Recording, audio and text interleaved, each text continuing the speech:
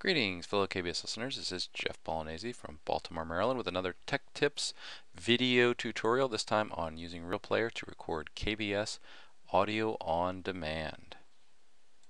Well, here we are on the KBS World Radio webpage, and I'm going to assume that you've already installed RealPlayer from the Real.com website, and we're going to test it out here with a recording of an on-demand programming. Remember, that the only programming you can record with RealPlayer is from the on-demand audio as opposed to the live streaming.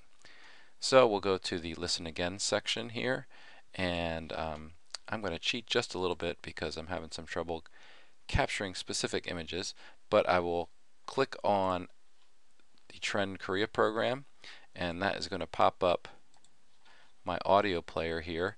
Now, one of the things that's not showing up, unfortunately, when I'm trying to do this capture is when I mouse over here, I should get a little window that pops up saying download this video. Um, that's coming from RealPlayer. Uh, once I click that, what will happen is that Real Player will come up and you can see here that I have already started doing the recording of the program and it's about three minutes into the 16 minutes of Trend Korea. Um, one of the things with the real player is it will take you as long to record the program as the program takes to play. So it's basically just going to record it as you're listening to it.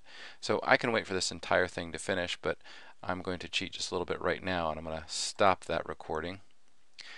Here's the recording. It's called KBS World Radio AOD Player. Um, now, right now, this is in a format that isn't particularly useful to us. So let me go to that particular site and um, in RealPlayer downloads. So here's the, the file that we just recorded. It's in the Real Player format. And what I'd really like to have that is in, in is the MP3 format. So I can convert that pretty easily when I mouse over here, you'll see I have option to trim. It's going to let me edit it. And then convert. So I'm going to click convert and it's going to give me some various options here.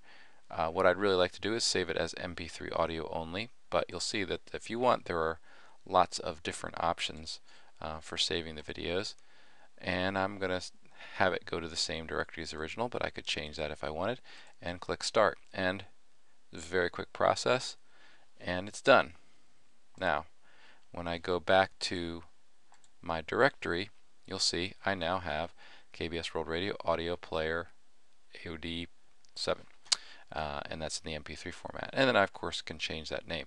But the MP3 format is, of course, something that can be taken to your MP3 player or any other uh, way that you like to play your MP3s. But it makes that file very portable and very easy to use. So that's a very brief tutorial on how to use the RealPlayer.